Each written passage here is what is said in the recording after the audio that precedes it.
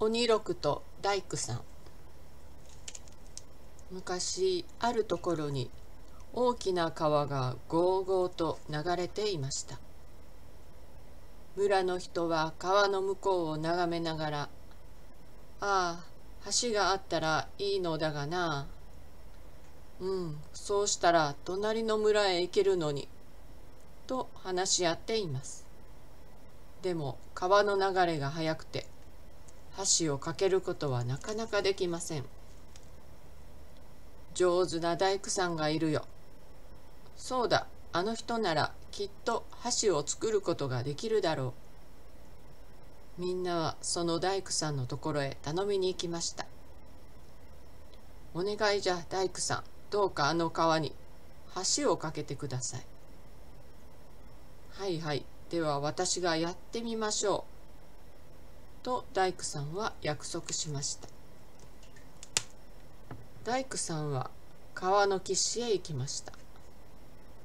水の流れをじっと見ながら、はてさて、ここへ橋を架けるのは大変じゃ。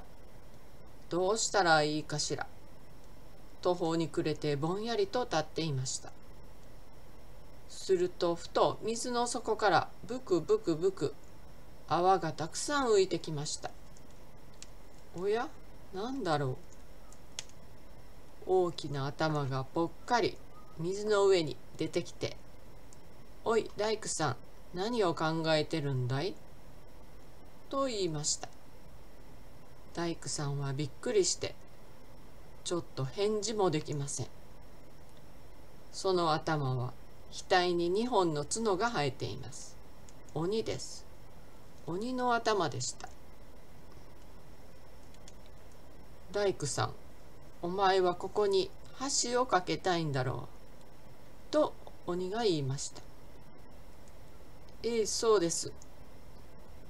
だが、お前にはとてもできそうもないね。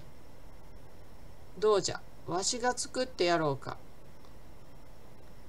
えあなたにできますか鬼のわしならこれっぽっちの橋なんか一晩でできるさ。大工さんは喜んで「おおじゃあ鬼さんどうか作ってください。でも何かお礼をあげないといけないでしょ？そうだなじゃあお前の目玉でももらおうか。え？目玉を？うんでもお前がもしこのわしの名前を言い当てたら目玉を取るのは勘弁してやる。鬼と約束をした大工さんはあくる日の朝また川へ行ってみました。するとあれとびっくりしました。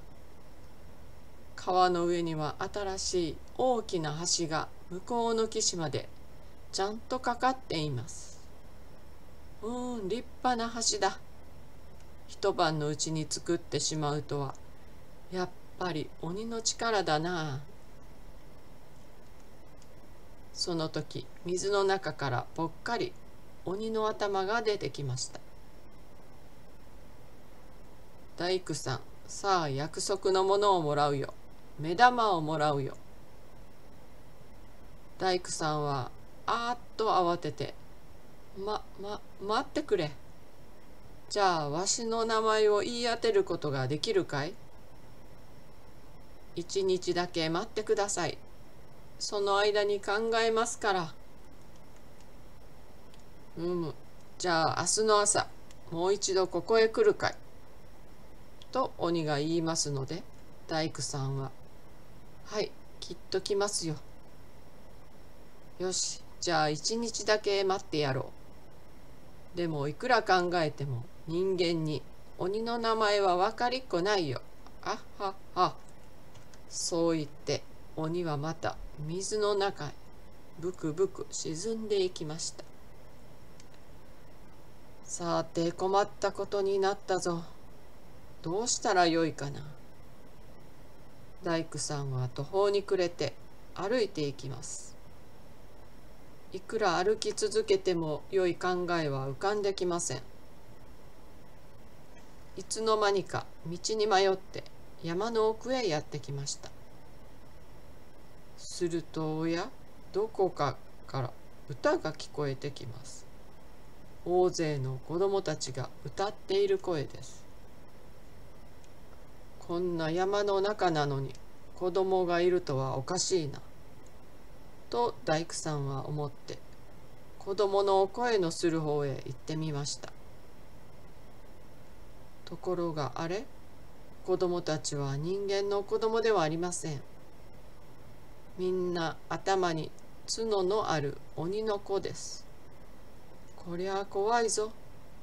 大工さんは逃げ出したくなりましたが我慢してそこに立っていました。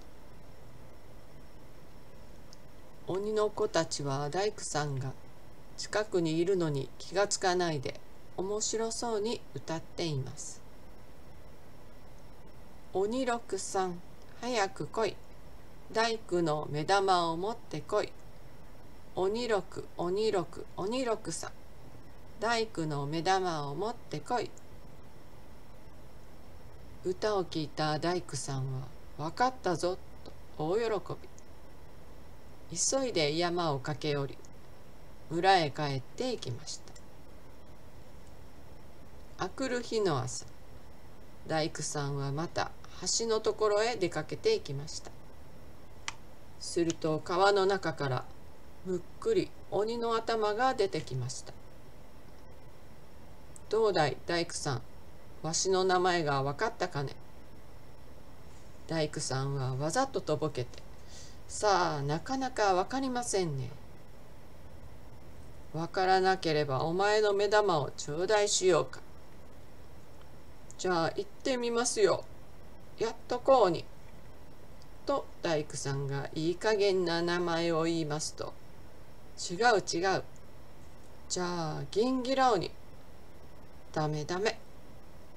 じゃあ人次郎に。あはは。鬼の名前が人間にわかるものか。と鬼は笑っています。大工さんは大きな声で、じゃあ鬼六と言いました。すると鬼はあっとびっくりしましたが、すぐに頭がポコポコと水の中へ沈んでいって、そのまま見えなくなりました。